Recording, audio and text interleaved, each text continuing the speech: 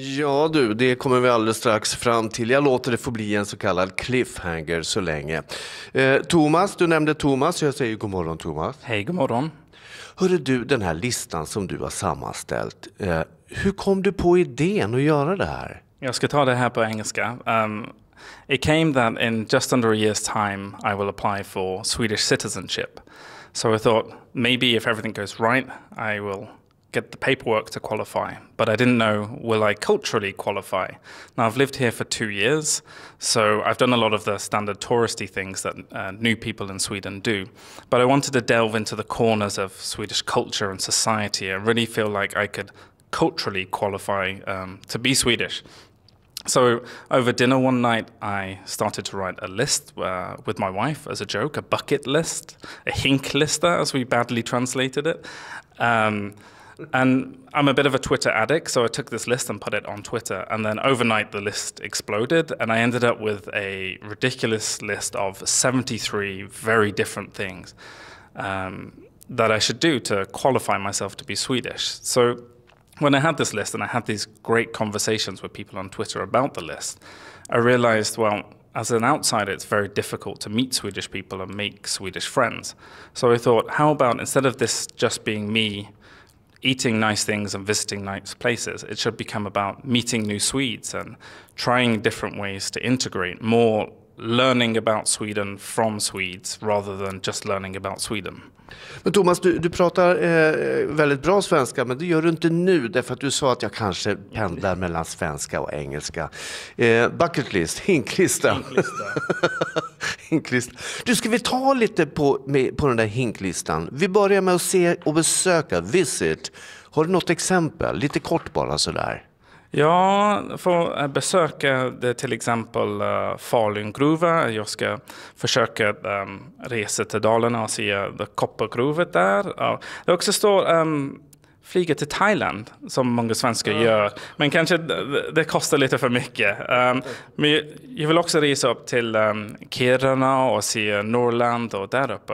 Ja, det, det ska bli spännande.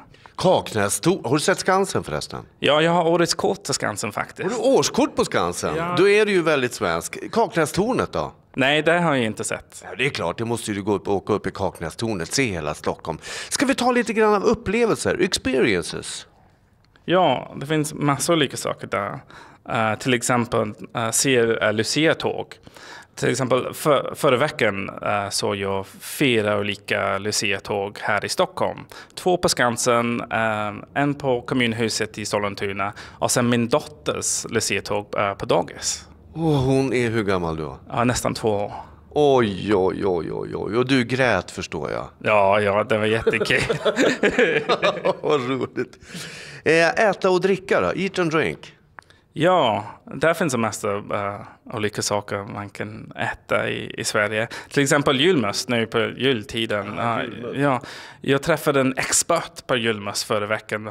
Han, har skrivit en bok om julmust. Så vi pratade om hela um, historien och hype runt omkring um, uh, julmust. Så det, det, finns olika saker, till exempel surströmming, det är en um, favorit här i Sverige. Och, och uh, masses of lingon står det, för i Sverige måste du äta lingon med allt. Jag, jag åt uh, lingon med middagen uh, igår på kvällen faktiskt. Så.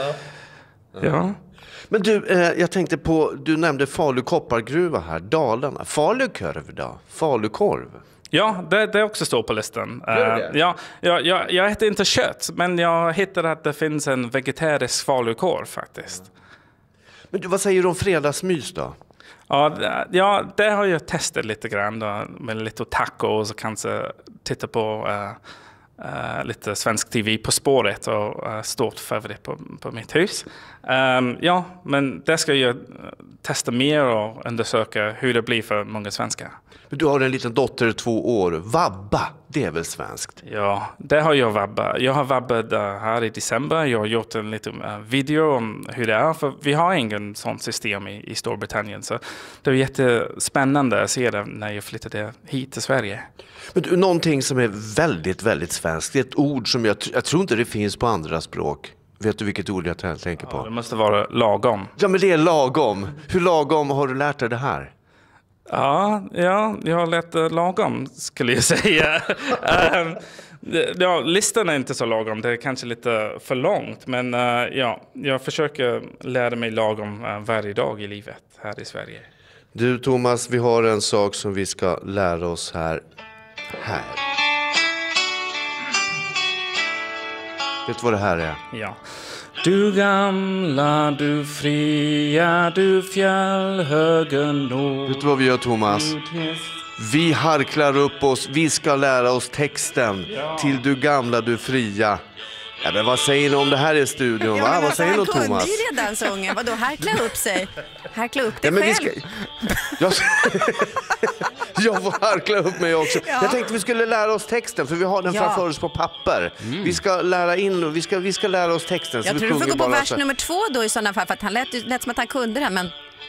Ja, vi den vi kanske tar vers nummer tre. Ja, den plugga sen- på. Ja, den som kom till. Ja, vi pluggar lite vidare så återkommer vi. Plugga på Danny, jag måste bara säga alltså, jag har aldrig känt mig så osvensk som jag gör just nu. Alltså jag har inte årskort på Skansen, jag har aldrig varit i Thailand, jag Nej. gillar inte julmust, Nej. jag vägrar lingon. Alltså vem är jag? Mm, Men du har Jag är den där fredagsmys. invandraren! I Surströmming. fredagsmys. Surströmming, Dejan. aldrig, kommer inte hända. Har du smakat? Ja, men det är ju jättegott. Kommer inte, har inte gjort, kommer inte hända. Jag har luktat på skiten får jag lov- väl lov att säga. Nej men nej Dejan, nej. Nu Så. kommer ni att få många mejl kan jag säga. Kära lyssnare, om ni har kommentarer till det ni hör, för går det bra att höra av sig direkt till Dejans inkorg. Men jag är så pass svensk att jag kan säga God jul! Vi återkommer strax. Ska du tala på så brittiska som Per gör? Ja, visst. Nej. It's beginning to look a lot like Christmas. Christmas day. Funkar det bra? Ja, mycket tycker bra. Du det? Okej, det är då tycker jag att vi kan prata mer om svenskhet och uh, bucket list. Eh, Per? Ja. Tack, jag sitter här med eh, Thomas som alltså flyttade hit till Sverige för två år sedan. Han bor med, tillsammans med sin svenska fru och sin lilla tvååriga dotter i Sollentuna. Thomas han har gett sig fasen på att han ska bli så svensk, så blågul som det någonsin går. Ehm, för att eh, känna att han hör till här och du är ju så välkommen så Thomas. Tack. Du, eh, Dejan i studion, han formligen älskar surströmming fick vi höra för en liten stund sedan. Eh, har du provsmakat surströmming? Nej, inte än. Det står på listan. Det står på din bucket list, surströmming. Yes. Jag måste äta det någon gång, kanske på sommaren, så jag kan äta det utomhus. Då kan ju du och Dejan käka surströmming. Ja, det blir jättebra. Det ska vi göra. Vi kan prata om någon månad och göra det. Men har du känt lukten av surströmming någon gång? Nej, inte än. För jag kan säga att det smakar inte som det luktar. Har du fått höra från någon hur det smakar? Ja, jag har någon kollega här som tycker om det. Jag säger det kanske luktar som en gammal ost. Men uh, jag tycker om strömming och sill och andra svenska fisk. Uh, så jag hoppas att jag gillar det. Men du, på din eh, bucket list att göra eh, för att du ska känna dig som en riktig viking så är du naturligtvis du gamla, du fria. Jag tänkte först så här på julen, eh, lite så här, hej tomtegubbar slå i glasen, låt oss lustiga vara. Har du hört den? Ja, jag, jag tror jag har hört det på um, Astrid Lindgrens uh, Pippi Långstrump. Ja men det är väl klart. Och sen, eh, nu är det jul igen och nu är det jul igen. Ja, det har jag hört på Lucia uh, förra veckan. Sjöng din dotter den? Uh, typ, ja. Ja, ja, ja, hon är ju två år. Men då så tänkte jag så här, så när jag ringde dig häromdagen så sa du, nej jag kan inte dem så bra, men ska vi ta då, för du har, du har inte julvisorna på din bucket list. Däremot så har du Du gamla, du fria. Ja, såklart. Uh, ja, jag har inte läst texten till... Uh, det, igår var första gången jag läste texten. Men jag övade lite på natten uh, och då ska vi se hur det blir på radion. Men har, har, du- har du legat och övat i natt menar du? Nej, nej, igår på kvällen jag, jag läste, jag sjunger, jag lyssnade. Så um, nu känns jag lite mer redo än, än Vil, igår. vilken version har du lyssnat på då?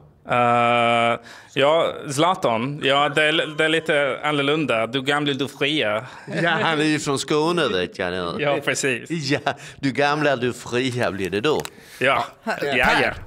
Vet du Ja. vad? Vi håller på den lite till. Ja, vi ser verkligen fram emot att få höra eh, antingen om det blir Zlatans version eller vems eh, version av Du gamla, du fria det blir. Det ska vi ta och göra efter Ekonyheterna tänkte vi. Så att ni får ju öva Okej. lite till och uh, värma upp rösten och sådär. Jag kan säga att ni har exakt återkommer. en minut på er att öva Ja, visst. eftersom Ekots 25 minuter över är just en minut. Varsågod Folke. Ja, och ni får gärna hänga med här i studion. Vi har... har du harklat dig Thomas? Ja. ja, nu. Jag också. Ska vi köra? ja. Det här handlar alltså om att eh, vi har lärt oss eh, texten till Du gamla, du fria utan till och eh, den kommer här och nu i ord och ton. Nu ska vi se här Thomas, nu, nu ska vi koncentrera oss ordentligt här. Ska, är du med? Du gamla, du fria, du fjällhöga nord du tysta, du glädjerika sköna Jag hälsar det vännaste land uppe jord. Din sol, din himmel, dina ängder gröna.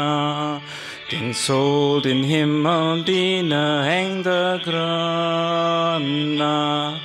Du tronar på minnen från funnstora dag. Då ett namn flög över jorden. Jag vet att du är och du blir vad du var. Ja, jag vill leva, jag vill dö i Norden. Ja, jag vill leva, jag vill dö i Norden Ja, men, och inte ens, nej, men vänta nu här Dejan. Alltså inte ens nationalsången är ju riktigt svensk utan den här är ju liksom i Norden. Ja. Men så är vi ju kvar i EU också.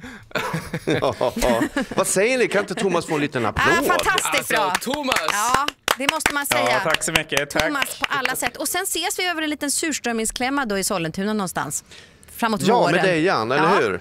Uh, jag passar, men jag träffar gärna Thomas och spelar fotboll och, och gör annat. Men uh, surströmming, det kan ni ägna er åt, ni som gillar det. Okej, okej, okej. Ja. Maria hälsar också till Thomas. Vi ska ju passa på att gratulera på namnsdag.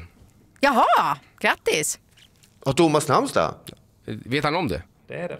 Ja, Ja, du har namnsdag idag. Ja, det har jag faktiskt. Grattis på namnsdagen. Tack så mycket. Jag ska fika senare med min äh, familjen. Namnsdagsfika. Namnsdagsfika, precis. Med lussekatter och pepparkakor. Ja, jajamensan.